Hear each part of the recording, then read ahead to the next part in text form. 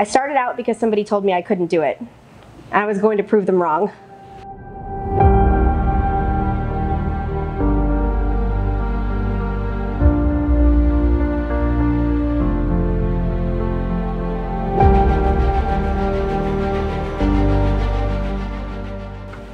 My name is Meghan Shirey.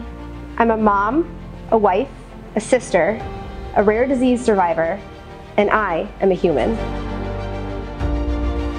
When somebody asks me about my experience with HEW, I can explain to them that there is not one part of my life that HEW hasn't touched. It helped me from being a struggling single mother with self-confidence issues, to literally meeting my husband during a WOD, celebrating my engagement with them during photos, and then eventually having my wedding WOD there with my entire HEW family by me. After all these years, every day I use pieces of what HEW has taught me. I started out because somebody told me I couldn't do it. I was going to prove them wrong.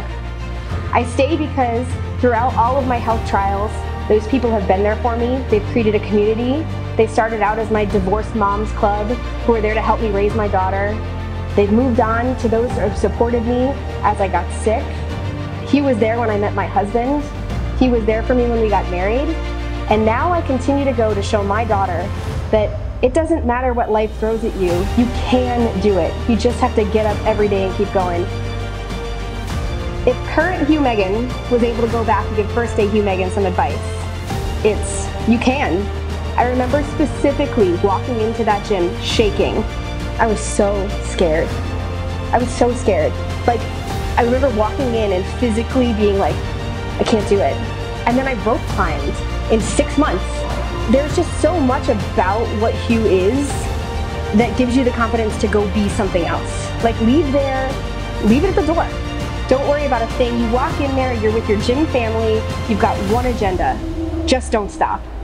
And through the entire time, it allows you to take care of yourself and it allows you to focus on what makes you better. Being a HEWman has given me the opportunity to wake up every day and just go do something. Get out, try it. It looks impossible, but you just have the confidence and the skill set to go out and try. Every day, I'm given a challenge I didn't think I could do, even if it's running an extra 400 or doing one more rep. It never gets easier because the challenges become more difficult because you want them to. And that will never leave me. No matter how, it's five years and I'm still doing it.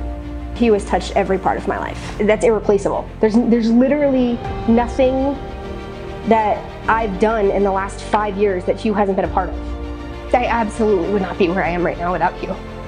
And that goes on every front.